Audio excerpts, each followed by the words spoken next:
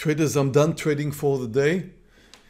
I'm just getting annoyed, annoyed looking at uh, Tesla here and um, witnessing the way it uh, finally did move up, uh, although I moved out too early. So as you can see here, I have a losing trade in Tesla. I just couldn't hold. Market was moving down. I thought Tesla would follow. Uh, Tesla did follow enough to take me out and um, I have a small loser and uh, that's it, moved out of Tesla. So um, just uh, to summarize what we've seen today, and um, it was quite an interesting day so far because we've seen the market uh, working uh, very technically the way it's supposed to be uh, working. And um, again, just uh, take a look at uh, the S&P and the NASDAQ. So here you can see the NASDAQ we started with the gap up, moved up, came down, closed the gap and even continued lower. And then take a look at the S&P 500, which did quite the same. Well, not yet closed the gap, but started with the gap up. You see, this is Friday's close. So we started with the gap up, moved higher. At that point of the day, you know, when the market's opening up on a Monday morning with a very strong upside momentum, you can think that, wow, we could continue higher forever like that. Well, usually it just doesn't work this way. You always need to remember that on Mondays mornings, we have a lot of open orders coming from the weekend. And apparently these orders are hard to buy. And that's why the market was moving higher. And exactly at the 30 minute mark, when all of these orders were executed, came the real intraday orders and they were definitely down. So you have to remember we, we, we've got the 30 minute mark on a Monday morning. We also have a gap to close so when the market opens up with the gap, there will be a lot of downside pressure to close the gap. S&P didn't quite close the gap, close. Nasdaq did close the gap and continued. That is a very technical move. The thing is, once the gap is closed, you don't really know what's coming next. So right now, uh, the only thing I, I see two things. One is we do have a very big downside pressure here. This downside movement here was rather strong. But the market still is in green territory. The S&P is currently up 0.5%. So we could finish in green.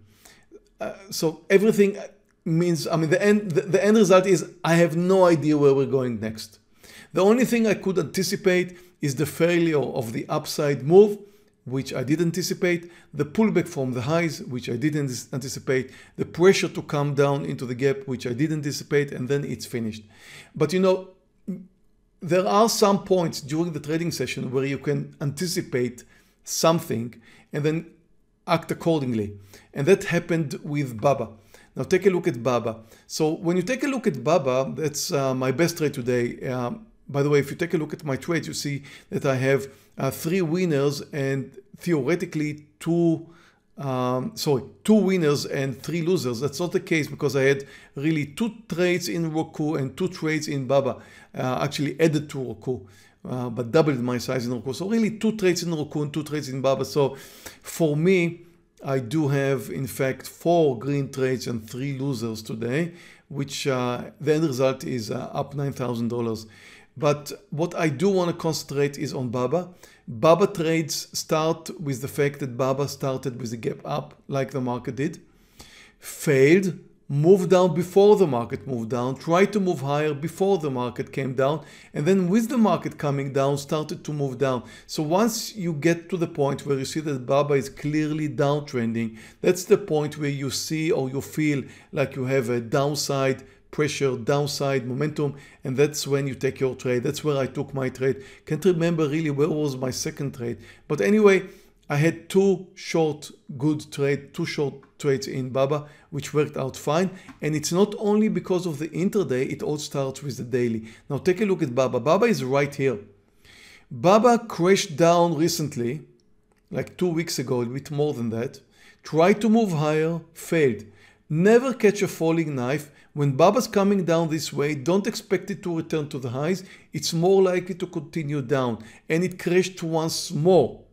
Now people are looking at it and saying, wow, we can catch another falling knife here. No, never catch a falling knife.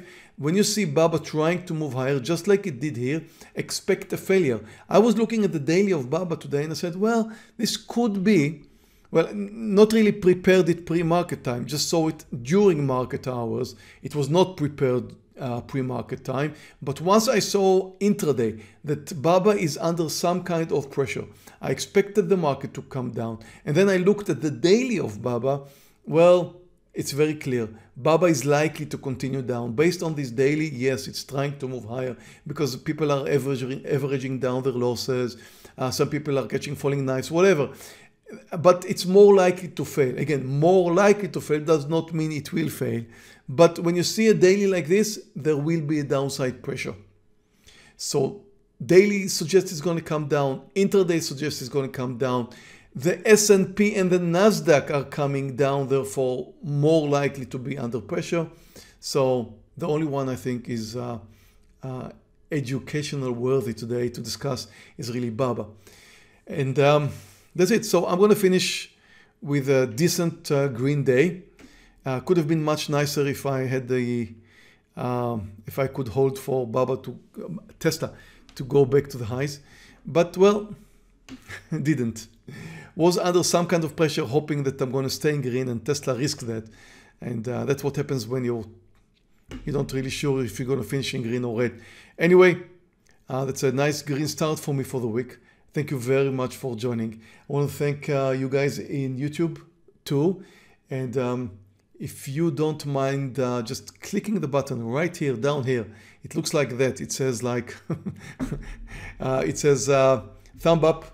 Um, and um, it's going to help our channel. And we would like to get more people looking at our channel. So if you're going to click it right now and uh, help us uh, get more people to our channel we will appreciate it very much. Uh, we think that a lot of people should enjoy this channel and uh, you know the more power we have the more people watching this channel the more people trading with us going same direction it helps. So the fact that we are a group that helps. And um, if you don't mind giving us a thumb up that will help us very much. So thank you for joining us and I'll see you all traders tomorrow. Bye traders